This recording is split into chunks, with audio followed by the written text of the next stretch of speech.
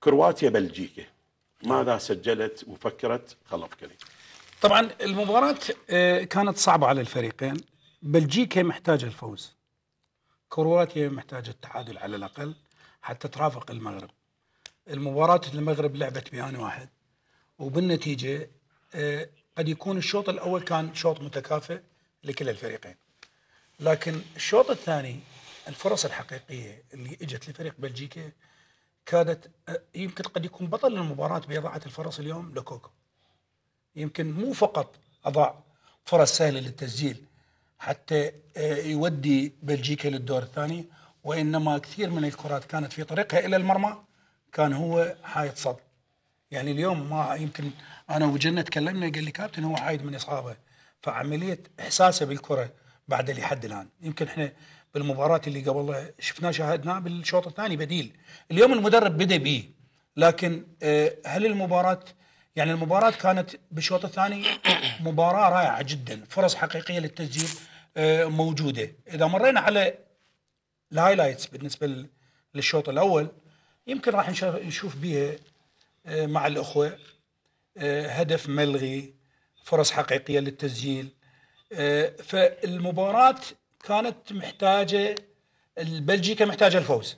نعم بين ما خلي- تتهيأ ال highlights أريد أسأل نعيم هل يعني أنه بلجيكا المصنف الثالث؟ نعم. يعني لوكاكو وإن لم يكن انتهى الموضوع؟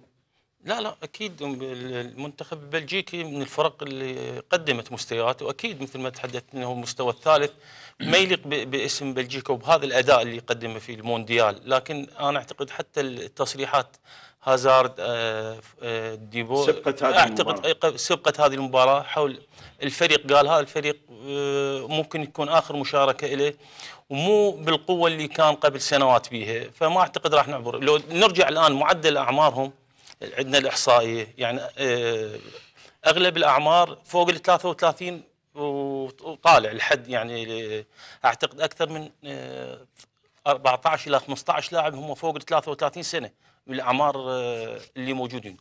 أنا بس أرجع لشغله الكابتن نتحدث إنه حول جاهزية لوكوكو، يعني لو اليوم لوكوكو بجاهزيته التامه على الفرص اللي سنحت له مع العلم إنه اشرك في الشوط الثاني أعتقد كان هو الآن هو هداف آه، المونديال.